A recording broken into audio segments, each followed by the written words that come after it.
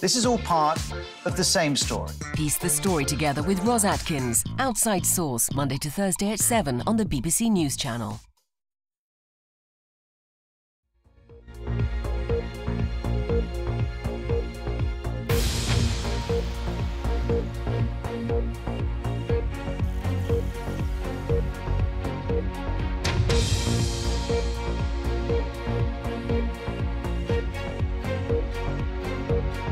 Música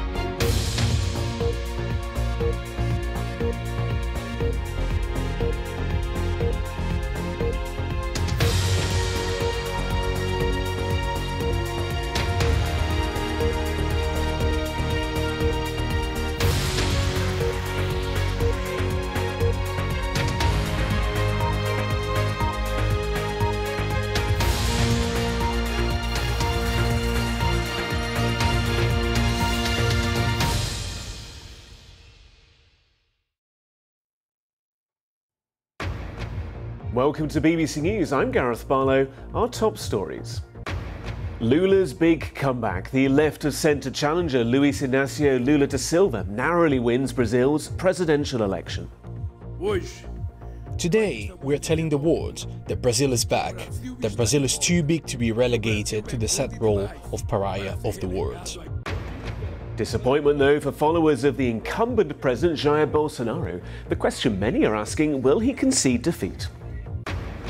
National mourning in South Korea after more than 150 people are crushed to death at a Halloween event in Seoul.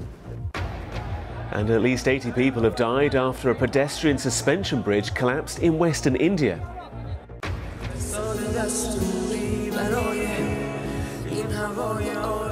Plus, how the rock band Coldplay is offering its support to protesters in Iran.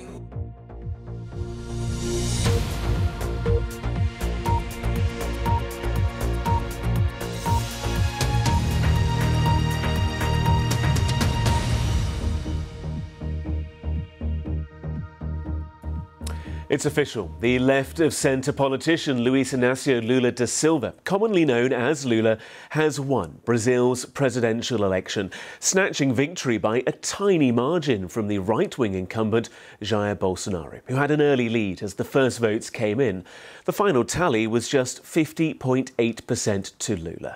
Crowds of his supporters started celebrating in the streets, and this represents an amazing comeback for the former president, who, three years ago, was serving a prison sentence for corruption, although his conviction was later overturned. But the contest has reflected how deeply polarised Brazil is. Mr. Lula spoke after the win was announced. Estou aqui para